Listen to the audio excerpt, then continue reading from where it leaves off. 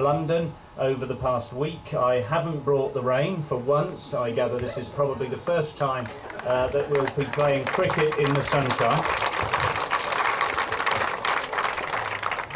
Um, and indeed, although we brought uh, the wonderful game of cricket uh, to the world, the other thing we're now doing is, in fact, with CIMA and our um, association with the AICPAs in America, uh, we have formed a joint venture for the Certified Global Management Accountants. Um, and this is an international accounting qualification. Uh, as we've done with uh, the cricket tournament here, it's uh, started really, really strongly, and indeed, in the past two years, we now have 45,000 CGMAs to add to the nearly 200,000 CIMA members and students uh, worldwide. Um, we've had a really interesting year as well. Uh, since my predecessor was here, we've updated the syllabus. We've produced a whole set of uh, global management accounting principles.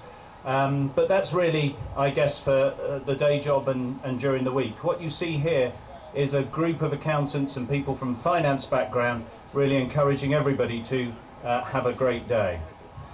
I just want to close by saying that uh, I've got involved in the past in the uh, return match, the cricket across the pond, and I must say, just to relay to you guys here, uh, the young men that come over, and indeed we may see young men and women uh, in due course, but the young men that come over really are fine ambassadors uh, for your city.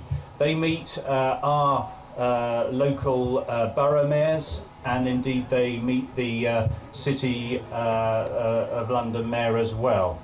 Um, and while they're with us, uh, they also get to visit Lords and the Oval, hallowed cricket spaces, and to receive some coaching. Um, I'm sure that other candidates who are here today and other people playing cricket would love to follow them.